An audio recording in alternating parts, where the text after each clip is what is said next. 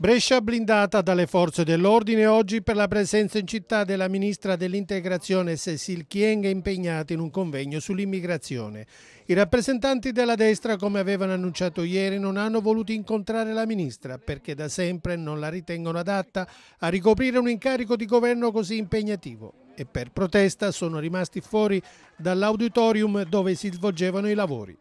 Siamo qui per difendere i diritti degli italiani che in una città come Brescia, che ha la più alta percentuale di stranieri, rischia di subire un razzismo contrario, ha detto l'esponente di Fratelli d'Italia Viviana Beccalossi, mentre il consigliere regionale della Lega Fabio Rolfi ha detto che la ministra è pericolosa per le sue idee di apertura indiscriminata agli stranieri. Tutto è filato liscio fino a quando in piazza non sono arrivati alcuni esponenti dei centri sociali che insieme a un folto numero di immigrati hanno cominciato a contestare gli esponenti della destra.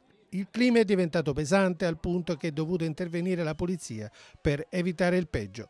Sui cori contro la sua persona all'esterno dell'auditorium la ministra si è limitata a dire che ognuno ha bisogno di farsi ascoltare e lo fa a suo modo.